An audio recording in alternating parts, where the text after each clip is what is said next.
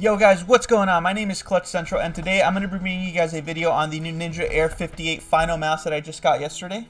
I was pretty stoked when I got this, but there's one thing I couldn't find online that really needed to be done and I'm going to be showing you guys that today. So as you guys can see, I decided to go with the red mouse here. It just looked a little cooler than the blue one. I could have got both, but I figured I don't really need to. Anyway guys, the one thing I did notice about this mouse is that it has two side buttons. However, these two were automatically programmed on mine to be Q and T. Now, those are different binds that I have for building in Fortnite, so I couldn't really program those to be my weapon slots, which are usually F1 and F F1 and F2. So today, guys, I'm going to be showing you guys how to reprogram these because, unfortunately, Final Mouse did not send any instructions on how to do that, and I couldn't find any online. But not to worry, guys, I'm going to be showing you guys how to do that here today. The last thing I want to go ahead and show you guys is the only thing Final Mouse actually sent with the package, which is how to change the DPI Alrighty guys, so the first thing we're going to be doing is we're going to be going to the site. I'm going to be linking it in the description as well too, but this is going to basically take you to a download page for a program called XMBC. All this program does is let you reprogram the buttons on your mouse if your mouse does not have a proprietary software to do so already like Razer and Logitech. The instructions that they give you are pretty broad, but I'm going to be showing you how to do it step by step. That way you won't mess up or anything. Alrighty guys, so once you download the program, which I actually already have here, go ahead and install it on your computer. It's a pretty quick install, it takes about a couple seconds, but once it's done, go ahead and launch it. When you bring up the program, guys, it's going to give you a screen that you probably won't recognize, so there's only a couple things that we're going to be switching here.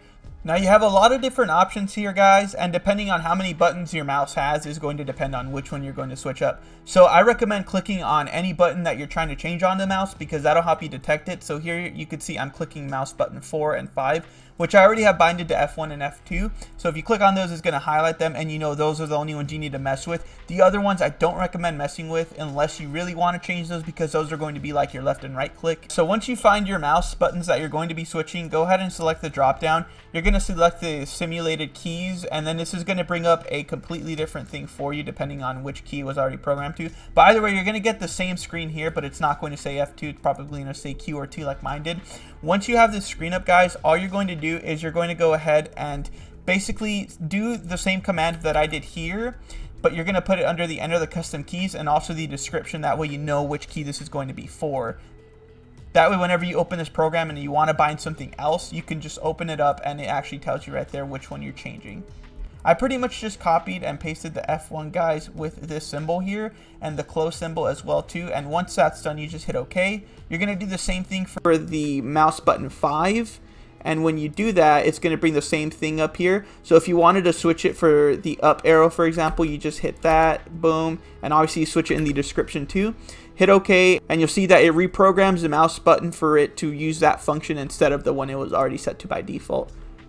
Once that's done, hit apply. I'm not going to do that because I already had them binded originally to my choosing. But once that's done, hit apply. And then from there, you're pretty much going to be good to go, guys. You'll notice that when you go to the game to change the binds on that particular game, it's going to go ahead and recognize those two buttons here. For the keys, you already reprogrammed them to originally on the keyboard. So in this case, F1 and F2 instead of the Q and T like it was when I first got it.